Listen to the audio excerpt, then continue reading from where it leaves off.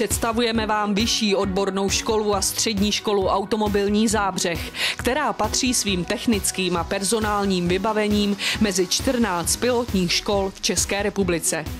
Mezi 14 pilotních škol, které jsou pověřeny výukou oborů vzdělání v oblasti autoopravárenství, dopravy a autodiagnostiky motorových vozidel.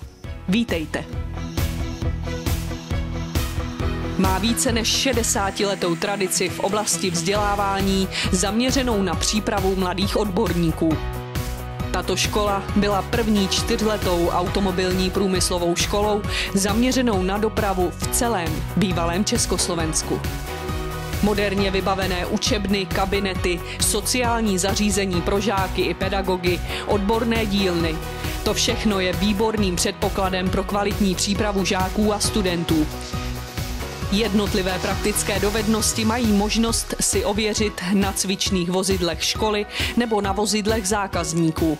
Moderní automobil je tvořen z řady strojních skupin, které jsou vzájemně na sobě závislé a propojené. Elektronika je jedním z prostředků, která dává možnost ovládat jednotlivé skupiny vozidla.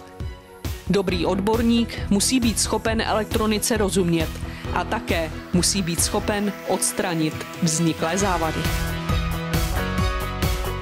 Dobří automechanici, autoelektrikáři a autotronici jsou stále žádáni ve výrobě aut, tak i při jejich údržbě a opravách a bez karosářů by nabídka odborného vzdělávání na této škole nebyla úplná. Získané praktické dovednosti při opravách automobilů a svářecí průkaz umožní dobré uplatnění na trhu práce. Není pochyb o tom, že s těmito obory se rozhodně nestratíte.